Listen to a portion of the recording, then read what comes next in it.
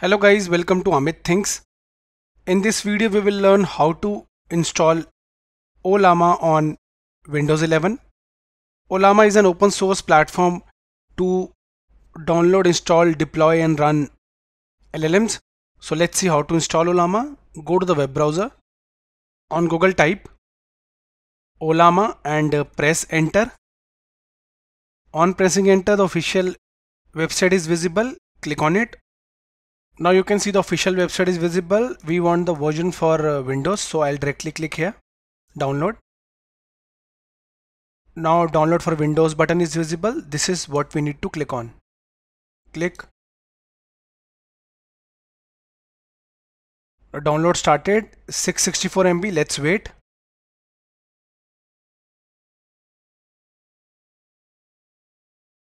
We have downloaded the exe file now right click and click open to begin the installation. Minimize. Click install. Now the setup will install. Let's wait.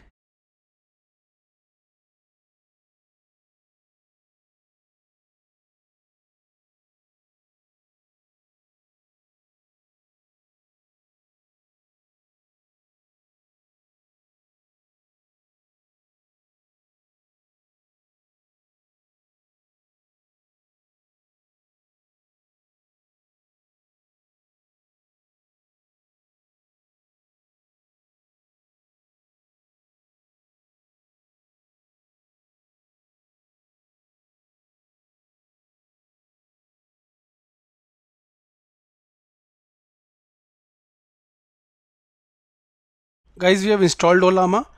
Now you can go to start. Type cmd click open. Now let us verify type Ollama and press enter. If the following is visible that means we successfully installed Ollama. Okay. These are the available commands.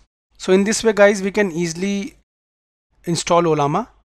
If you want to learn how to install LLMs locally using Ollama, you can refer the links in the description of this video.